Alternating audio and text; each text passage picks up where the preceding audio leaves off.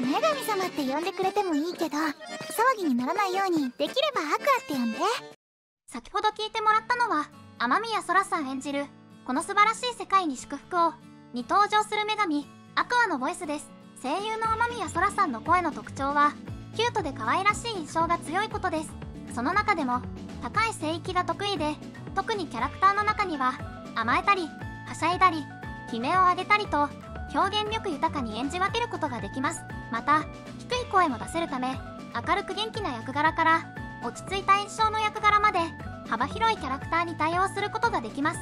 さらに雨宮そらさんの演技には感情表現が豊かで自然な喋り方や声のトーンリズム感が魅力的な点も挙げられます。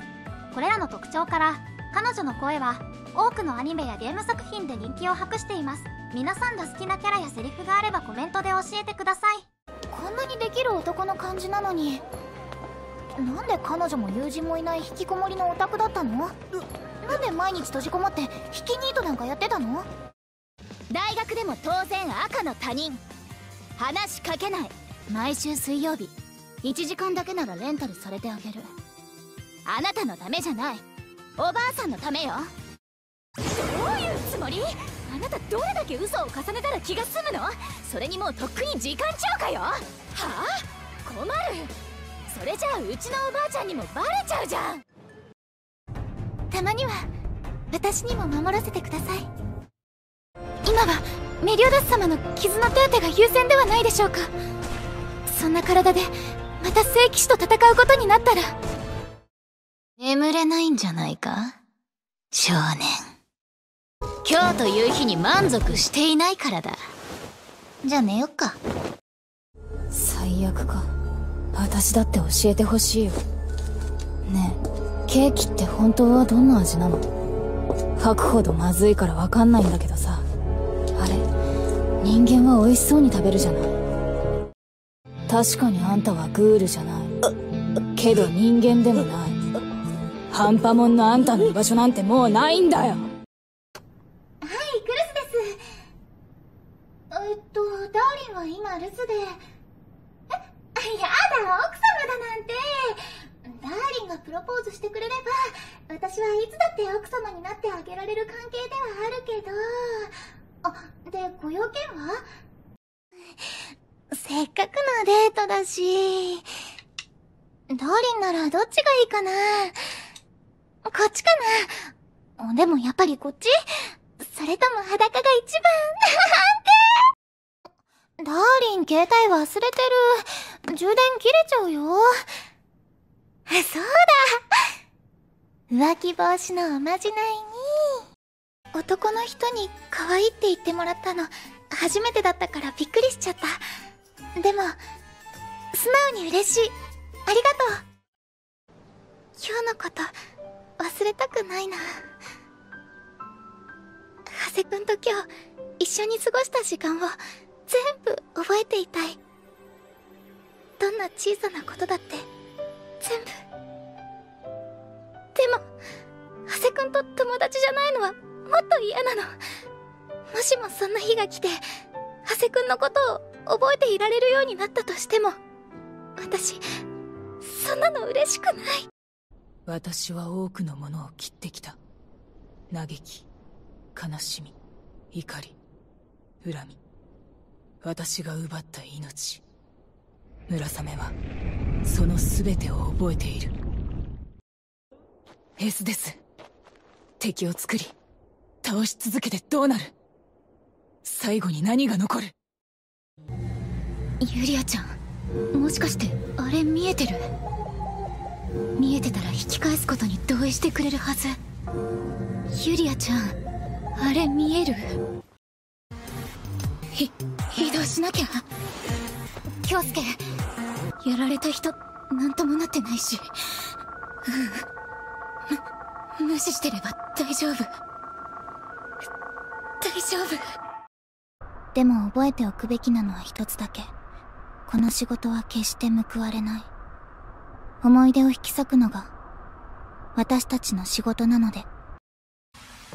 幸せな思い出や綺麗な思い出が救いになるとは限らない。思い出が綺麗なほど辛くなることもある。怖くなることもある。去っていく方にとっても残される方にとっても。司のことが気になるので気がついたら司のことを目で追うようになっていた。この前まではそんなに気にならなかったのに。私昔はいじめられてたの。一人で朝から晩までダンゴムシの観察してるみたいな子供だったから。その子の名前を聞くことはできなかったけど。彼みたいにいつも知的で論理的。かつ凛としてかっこいい理系に私もいつかなりたいって思ったの。